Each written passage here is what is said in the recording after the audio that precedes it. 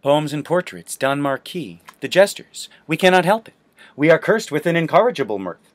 Although we too have saddened with the clouds that shadow the disconsolate earth, although we too have mourned with all mankind the disillusions of the barren years, although with all mankind we drink the acrid tears, although we too have stolen cowering through the nethermost dim, crowded hells, wherein the common terror of doomed multitudes the vague ghost cringes, huddling toward his neighbor ghost, and each finds each the mirror of his sins, although we too have sought beyond the outmost bounds of space, a god of our imaginings, his will, his form, his face, to sink again with baffled wings, for that we only found familiar riddles there.